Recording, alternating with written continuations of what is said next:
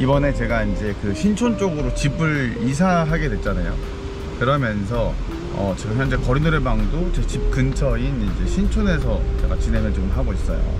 근데 이제 거리가 너무 먼 거죠. 그래서 양평동의 가게를 지금 정리를 하고 신촌 또는 홍대 쪽으로 가게를 옮기려고 합니다. 가게 개업이라고 해야 되나? 가게 개업? 가게 창업 브이로그가 될 것 같습니다. 아는 인테리어 업자를 쓰지 않고 제 손으로 직접 네, 해보려고 해요. 일단 먼저 계약하는 과정부터 인테리어까지 같이 가보시죠. 안녕하세요. 안녕하세요. 이거 제 브이로그 영상인데 안 나오시게 저만 이렇게 아, 그래요? 할게요. 아 오늘 계약하는 거 찍어요? 네. 저는 웬만한 거 다 찍어요. 아 저번에 손카페 할 때도 했어요. 오. 네. 왜냐면 이게 또 유튜브 영상이니까 어, 저희는 예. 콘텐츠는 이게 지금 8월 오늘 5일이죠? 네. 아 1월 6일이죠? 네 6일인데 저희가 원하시는 거는 사실 한 9월 한 4일 정도 됐거든요 좋으실 것 같은 게 왜냐면 여기가 휴가철에는 손님이 하나도 없어요. 바로 공사해서 바로 하시는 거. 신촌만 하게 되면은 여기 한 반 정도만 뜯어갈 것 같고 어 만약에 홍대까지 하겠다면은 사실상 숲길 다 갖고 가서 양쪽을 다 쓰지 않을까. 리폼하고 다 가져가시면 돼요. 예. 정, 정, 정보를 들어와야 되니까. 모르는 아, 예, 예, 예. 예. 다, 다 뛰어가버리고 그리고 찍어야지 부산 정말 그리고 찍어야지 맞지 어디 찍을까요? 이거 한 장이면 되는 거예요. 네, 거니까 네. 근데 건물주님이 막 이상하진 않으셔가지고. 네, 왜냐면 저희 쪽 양해해 주실 것도 되게 많이 봐주시고 막 그러셔가지고 일단은 저는 다른 또 촬영이 있어요 예, 고생하셨습니다. 먼저 가봐야 같아요 정말 죄송합니다. 아유, 별 말씀을요.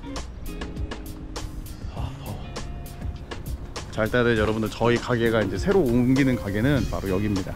그 홍대 입구에서 이제 걸어 오시기에 굉장히 가깝고 그리고 그 이쪽으로 가면 젠틀몬스터 있거든요. 젠틀몬스터 바로 그 앞에 골목이에요. 여기 앞에가 여기가 그 미슐랭 가이드 맞죠? 미슐랭 가이드 양고기 집이고 옆에 이제 네일아트.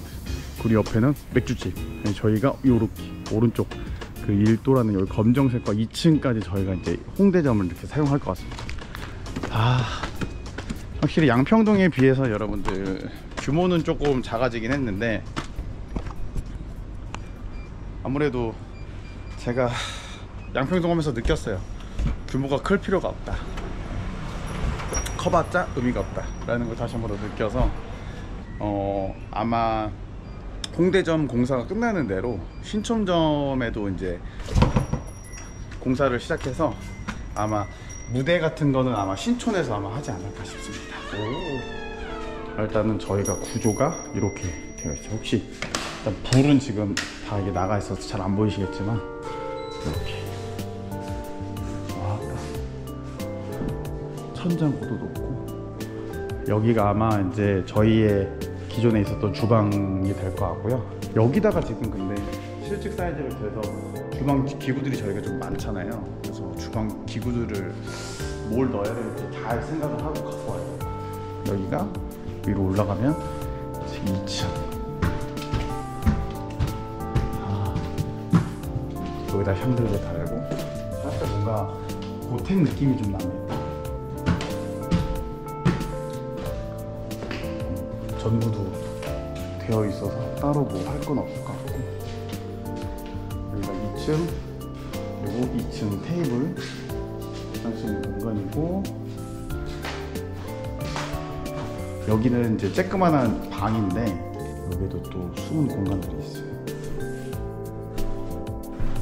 여기서도 뭔가 포토존 좀 만들어 주려고 좀 생각 중이에요. 여기 이 건물의 홍대점이죠. 손카페 홍대점의 가장 메리트는 내가 봤을 때 이 공간인 것 같아요. 하, 이 테라스를 전부 다 쓸 수 있다는 게 완전 베스트하지 않을까. 여기까지도 쓸 수 있다고 하니까 아마 여기도 좀 어떻게 할까 지금 고려 중이에요. 아 이쁘지 않나요?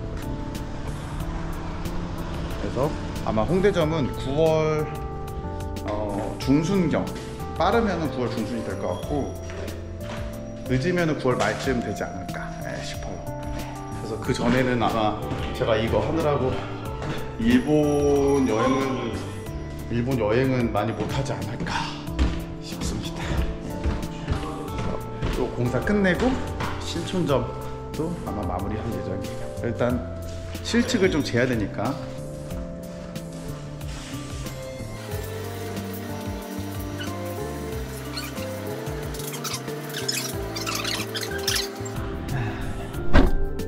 아따 더라 일단은 저쪽 건물은 이제 사장님하고 얘기해서 이제 계약금 보내면은 저기는 이제 홍대점이 이제 되는 겁니다 여러분들. 그래서 어 홍대 송카페로 넘어가는 일정은 아마 빠르면 중순이고 늦어지면은 말일쯤 될 것 같고요. 어 아마 양평동은 어, 요번 달 말일까지 딱 영업하고 마무리하지 않을까 싶어요. 왜냐면 저희도 짐을 좀 빼야 되는 시간이 있으니까 그래서 아마 빨리 좀 준비하는 대로 여러분들 홍대점 만나보실 수 있게끔 하겠고요. 그리고 신촌에도 빨리 오픈 준비를 조금 할 예정이니까 좀 기다려 주시고 요번에 홍대점은 요즘 제가 진짜 레시피 연구를 진짜 많이 하고 있어요. 커피도 하지만 이제 좀 빵이랑 그 제가 이제 송쿠키라고 해서 이제 인터넷으로 지금 판매하고 있잖아요. 그래서 bread, 예, 빵이랑 디저트류, 쿠키류 이런 것 쪽으로 레시피 진짜 많이 공부하고 있거든요. 그래서 그거 쪽으로 아마 진행을 할 것 같아요. 그래서 디저트 맛집으로 저희 또 손카페 또 디저트 양평동에서 또 맛집으로 또 유명하잖아요. 그래서 이제는 또 빵도 더 많은 메뉴 추가하고 쿠키 쪽도 좀 더 추가해서 인터넷으로 드실 수 있게끔은 이제 송쿠키, 예, 송카페, 송쿠키에서 여기서 여러분들 찾아서 드시면 될 것 같고 오프라인 매장 오셔서 드실 분들은 또 이제 홍대점 송카페 많이 많이 와주시면 너무 좋을 것 같아요. 예, 일단은 아직 저는 일정이 끝나지 않아서 어, 아마 지금 뭐 다른 데 제가 업무 보는 게 있거든요. 그래서 스튜디오 업무 보고 집에 가서 이제 또 이제 제빵 관련해서 레시피 만들러 갈 겁니다. 도착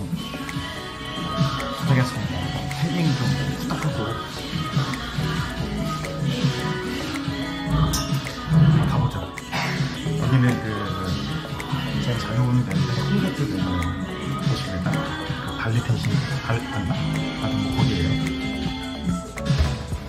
얘가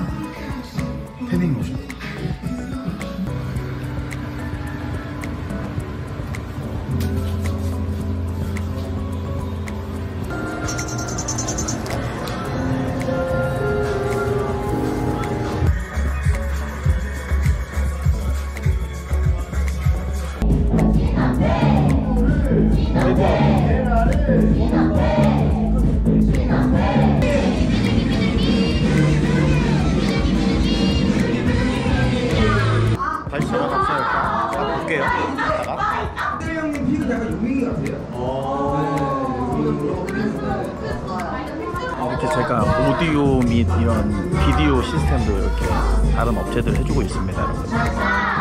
오늘 수리하러 왔어요. 네, 바로 그냥 딱 빼고 바로 넣고. 몇 시간이고 뭐 40시간이고 50시간이고 할 수 있는 거지.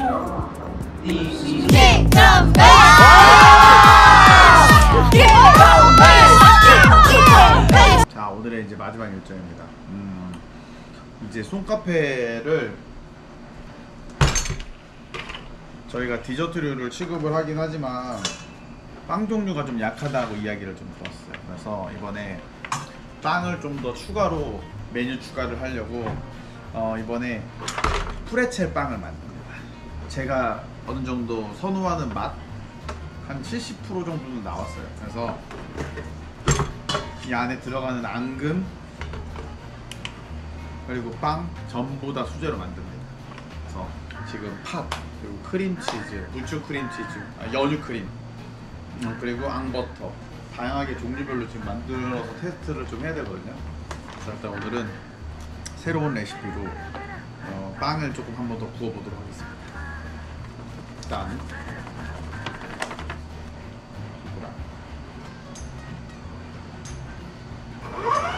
속도는 일단 최대한 천천히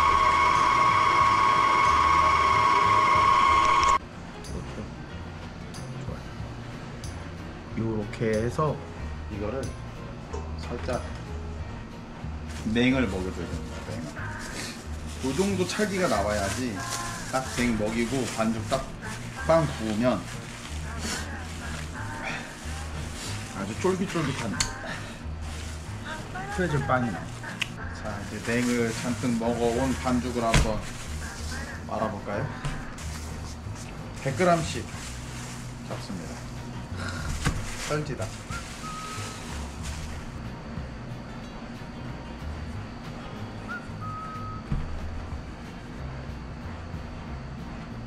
두번 꽈서 젖을 하나 하나 이렇게 해야지 모양이 최대한 이쁘게 잘 나옵니다. 한번 코팅을 해주는 물에다 넣을 거거든요. 그럼 쪼그라들어서 생각보다 크게 만들어야 돼요. 이 소단물이거든요. 소단물. 소단물에 넣어서 살짝 그 갈색 빛깔을 거예요. 얘를 넣어줘야 갈색 빛깔이 예쁘게 잘 나와요.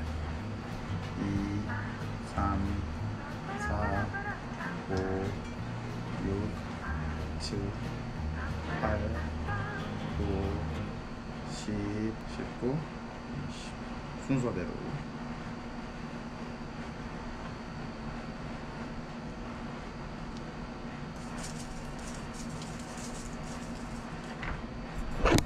오븐에다 넣고 구워봅시다. 온도는 170도.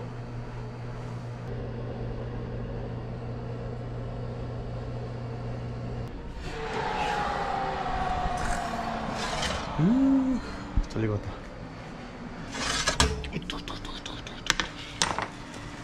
아, 잘 익었네. 아, 진짜 꼬슬꼬슬하게 진짜 잘 익었다. 야, 깨까지. 아. 아, 커팅을 해서 준비해 놓은 토핑들을 한번 좀 다 먹어봐야 될 것 같아요. 조금씩. 얘는 그 앙버터 할 거거든요.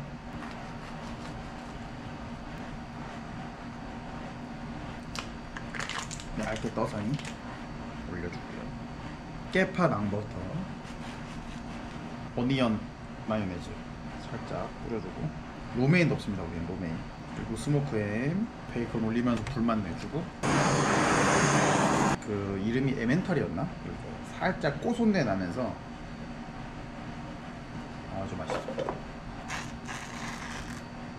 넉넉하게 케찹이 좀 많이 들어가야지 맛있더라고요. 이렇게 나왔습니다.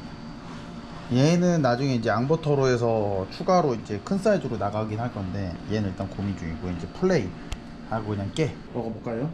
일단 얘부터 얘는 앙버터거든요 앙버터. 얘는 좀 이제 연한 팥. 음. 단거 좋아하시는 분들이 좋아할 것 같아요. 팥빙수 팥에 들어가는 팥이에요 앙버터. 다음 뒷면. 얘는 붕어빵. 붕어빵에 들어가는 팥입니다. 음, 둘 다 맛있는데 확실히 나이가 좀 많이 먹어서 그런지 모르겠는데 좀 덜 단 게 맛있네요. 안 달고 고소하네. 이거 붕어빵에 들어가다 보니까 빵 종류랑 잘 어울려. 햄치즈. 아니 뭐 햄치즈는 뭐. 음, 아는 맛이 무서운데 레멘탈 치즈 때문에 더 고소해서 더 맛있어요. 음, 진짜 맛있어요. 불맛까지 넣어가지고 더 맛있는 것 같아요. 다음은 이 녀석. 부추 크림치즈입니다. 전 좀 더 소스를 좀 연하게 만들어 봤어요. 음. 음. 음, 꾸덕꾸덕하고 부추 때문에 뭔가 만두빵 먹는 느낌이야. 근데 겁나 맛있다. 이거 맥주랑 먹으면 진짜 지리겠는데? 괜히 런던 베일이 잘 되는 게 아니야. 음. 배울 건 배우자고. 그 다음에 진짜 야심작. 제가 제일 좋아하는 녀석이에요. 연유 버터크림. 진짜 제일 맛있어요. 거기다 살짝 후추 올려서 먹으면 야 이거 진짜. 음. 말도 못하게 맛있어 말도 못하게. 크림 더 찍어 먹고 싶다. 음. 이렇게 여러분들 저희 손카페 이사일지가 이제 이렇게 첫 회를 마무리하는데 이렇게 공사하는 과정들도 좀 보여드릴 거예요. 아무래도 이제 손카페가 저희가 이제 오래됐고 한 제가 지금 7년째 운영하고 있죠. 뭔가 매번 가게를 오픈할 때마다 좀 새로운 느낌으로 그리고 새로운 음식들로 좀 여러분들하고 같이 인사드리고 있는데 요번은 진짜로 어, 저번에는 좀 뭔가 디저트와 음악이었다면 이번에는 진짜 완전 빵 맛집으로 네. 그리고 디저트 맛집 소문나는 집 될 거거든요. 이제 손가락 오픈하면 많이 와주시면 감사하겠고 이렇게 맛있게 또 만드는 디저트들 다 이제 제가 직접 레시피 짜가지고 저랑 저희 직원들이랑 직접 만들고 있거든요. 이렇게 집에서 가정에서 여러분들 거리도리방 보실 때 아니면 저희 창면 채널 보실 때 입심심하신 분들은 우리 송쿠키 여기 네이버에다 송쿠키 검색하시면 나오거든요. 송쿠키 검색해서 우리 쿠키랑 빵도 많이 또 시켜서 드셔주시면 너무 감사하겠습니다. 이제 이사 가는데 준비 잘해서 여러분들 9월 중순에서 말일 사이에 여러분들 찾아뵐 테니까 준비하는 과정도 많이 지켜봐 주시고 오픈하면 많이 놀러 와주시면 감사하겠습니다. 저는 이제 자러 가볼게요. 감사합니다.